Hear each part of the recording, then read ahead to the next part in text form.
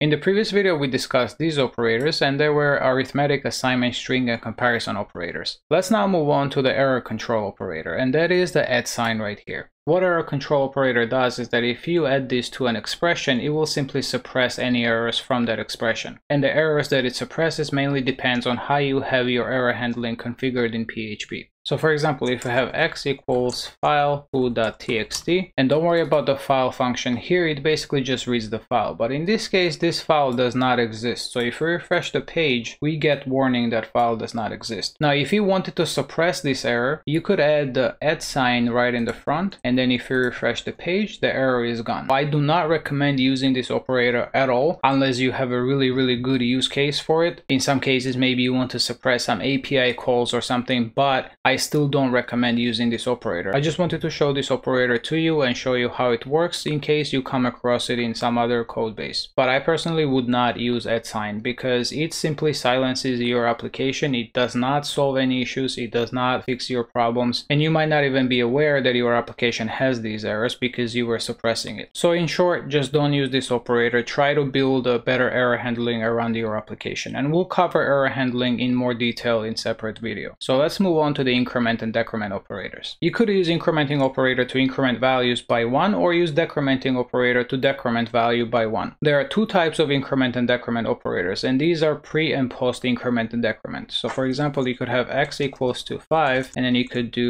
post increment like this and then you could do post decrement like this. You could do pre increment like this and then pre decrement like this. So the post increment here, what it does is that first it returns the value and then does the increment. Same for the post decrement, it first returns the value and then decrements it. In case of a pre-increment and pre-decrement, it first increments and decrements and then returns the value. So to put this in practice, let's do echo x plus plus and we get 5. And the reason for that is because it first returns the value and then does the increment. If we did echo x right after, we'll get 6. However, if we did the pre-increment, then we will get 6 right away. So if we refresh, we get 6 and then 6 right after as well. The same applies to the decrement operator. A quick note here that the increment and decrement operators only affect numbers and strings. Arrays, booleans, resources, and objects are not affected. So for example, if we had x equal to true and we did plus plus x, we refresh, we get 1. So it's not going to increment true to something else. Decrementing a null value has no effect, but incrementing null will result in 1. So for example, if we did null and then plus plus x, we'll get 1. If we did decrementing, it has no effect on it, so it's just gonna return nothing. Decrementing also has no effect on the string values, but incrementing has effect on the string values. So for example, if we had ABC here and we did decrement, it will have no effect on it, but if we did increment, it's just going to increment the characters. So if we refresh, we get ABD instead of ABC. So now let's move on to the logical operators. The logical operators basically allow you to combine multiple conditions together. So you could use use these operators to basically combine and create a larger conditional statement. Let's go over them one by one. The first one we have an AND operator and it evaluates to true only if the both operands evaluate to true. So for example, if we had x equals to true and then y equals to false and then we did var dump x and y, this will only get evaluate to true if both x and y evaluates to true. In this case, y evaluates to false and therefore this operation here will evaluate to false. If we refresh the page, we get false. If we change y to true, now we'll get true. Just to note here, x and y don't need to be boolean values. You could be integer or any other data type. As you know, PHP does the type conversion for you. So we could set this to 1 and we could set this to 1 as well and this will return true as well. We could set this to 0 and then it will be false. The next operator is OR and it evaluates to true if either x or y evaluates to true. So if we change this to OR, this operation will evaluate to true now because x evaluates to true. And if we change it around and we do it this way, this will evaluate to true again. But if we change this to false, now it will evaluate to false. The third one is a unary operator and it's just a negation. So if you did not x or y, what it will do is that it will negate whatever the value of x is. So in this case, x evaluates to false because it's zero and then the negation will make it true. And because this expression here evaluates to true, the entire expression will evaluate to true because we're using the OR operator. So if we refresh the page, we get true. PHP also has a second variation of these operators, and these are the keywords AND AND, OR, and XOR. Even though this AND and this AND do the same thing logically, they're actually different in PHP, and the difference is in their precedence. And we're going to cover precedence in a separate video because it is a very important topic. Let me show you an example. So if we have x equals to true, and then y equals to false, and then we set z equals to x and y, and then we var dump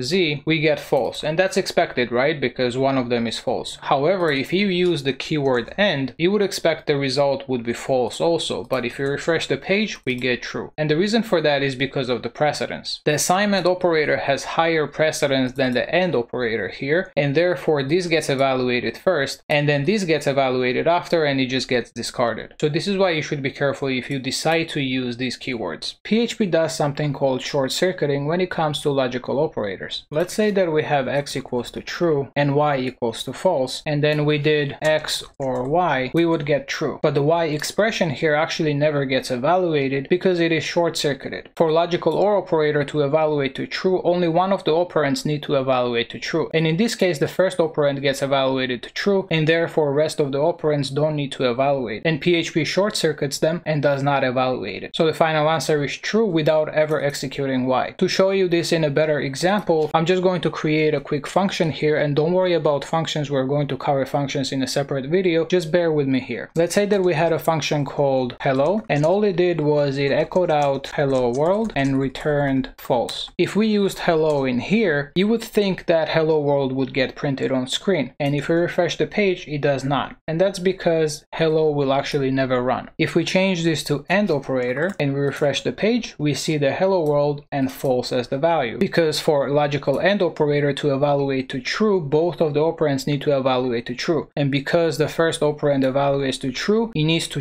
check the other operands as well. If we changed x equal to false, now again PHP will short circuit this and hello will never run because x evaluates to false and logical AND operator does not need to check any of the other operands because the whole expression already evaluates to false. If we refresh, we get false. What if you did something like or true? Would hello get executed in this case? And the answer is no. If we refresh the page, we get the value true, which means that it actually evaluates this section here, but hello still never gets executed. And the reason for that is operator precedence and associativity. And we'll talk about that in the next video in more detail, but basically what happens here is that AND operator has higher precedence than the OR operator, and therefore this is grouped together and gets executed first. So the value of this expression is false, and because this returns false, the OR operator needs to check the other operands, and therefore the true gets evaluated, and the final result of the expression is true. Alright, let's talk about the bitwise operators. Bitwise operators are used to perform bit level operations. Think of bits as on-off switches. It's binary, right? So it's just zeros and ones. You could use the following operators to flip those switches. You can flip 0 to 1 and 1 to 0 or shift the bits left and right to get the desired result. The first operator is the AND operator and it will return bits that are set in both x and y. So for example, if we have x equals to 6 and y equals to 3 and then we did var dump x, y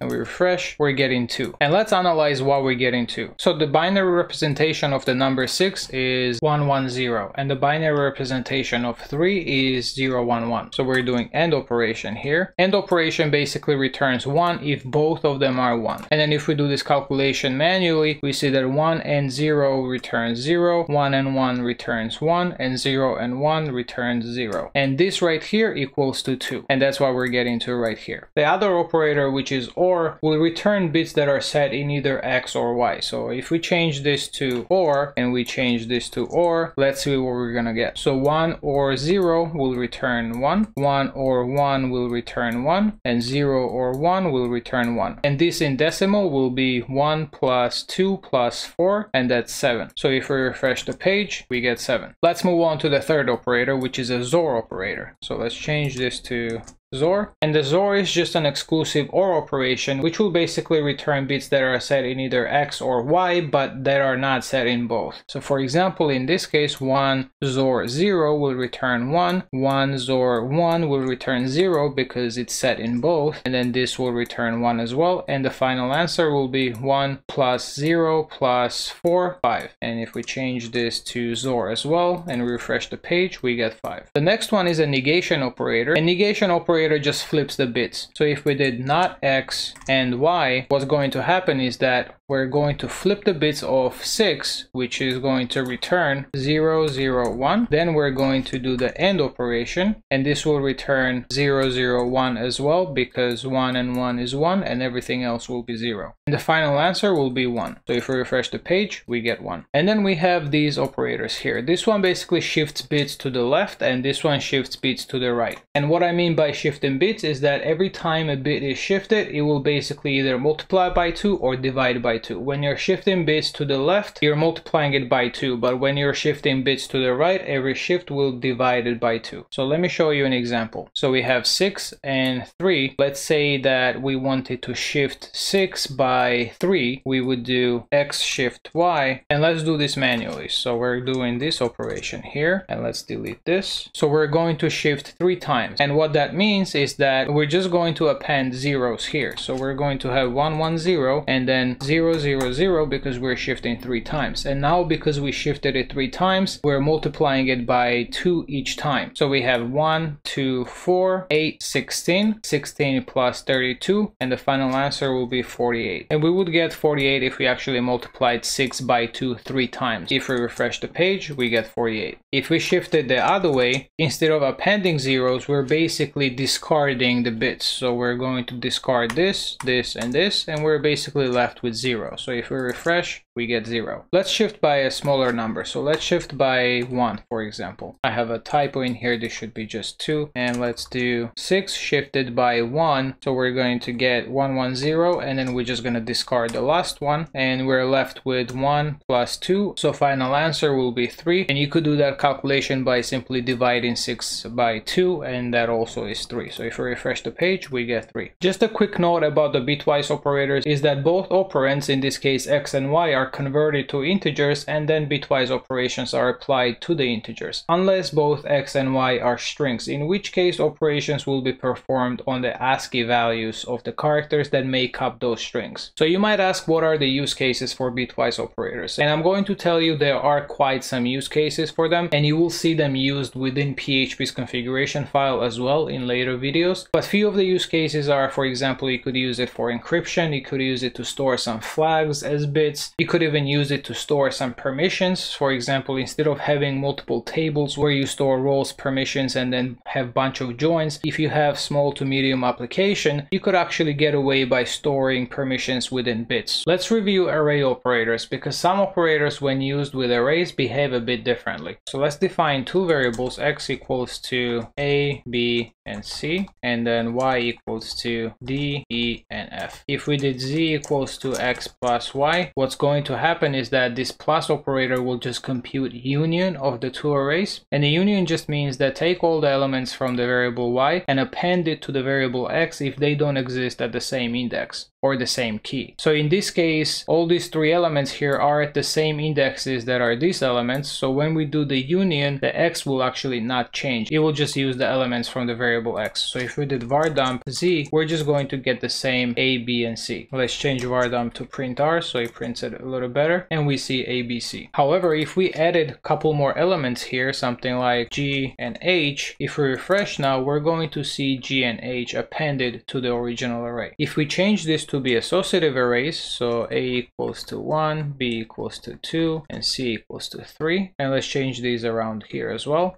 When union is computed in this case, the keys are unique and keys don't match, so therefore everything will be appended to the variable x. So if we refresh the page, so now we're getting all the elements from both arrays. If however one of them had the same key, then it's not going to overwrite the one that's in variable x, it's just going to use the value from the variable x. So if we refresh, the value for the key a is 1 and not 4. The next one is comparison and strict comparison operators. And the way comparison happens with arrays is that it will return true true if both x and y have the same key value pairs. So for example, in this case, if we did x equal y, the z will be false because the two arrays don't have the same key value pairs. Even if they have the same number of elements, it will still be false because keys don't match. Even if we have the keys matching, but the values are different, it will still be false. It will only be true if both array keys and values match. So if we change this to 1, 2, and 3, then it will be true. Even if we change one of them to a string and we did the loose comparison, then it will still be true because we're doing the loose comparison. However, if we do the strict comparison, this will also check the data types of the values. So in this case, this will return false because the data types don't match. So basically strict comparison will return true only if the key value pair are the same as well as their data types and also they're in the same order. So if we replace the order here and we moved B to be on the other side and we change this to be the same data type, with a strict comparison this will return false, but if we did the loose comparison, this will return true, even though they're out of order. And the same logic applies to the inequality check and the strict inequality check. And this operator here is just an alternative operator to check inequality. So the next one we have execution operators, type operators, and null safe operator. So don't worry about these three operators for now. The type and null safe operators will be covered towards the second section of this course once we get to the classes and objects because it doesn't make sense to cover it now when we haven't the objects yet. The execution operator is probably something you will never use. It allows you to execute the content of backticks as shell commands, only if the shell exec is enabled. So don't worry about this either because you probably won't need it unless you need to execute some shell commands from PHP. So this is it for this video. Thank you so much for watching. In the next video, we're going to talk about a very important topic, which is about the operator precedence.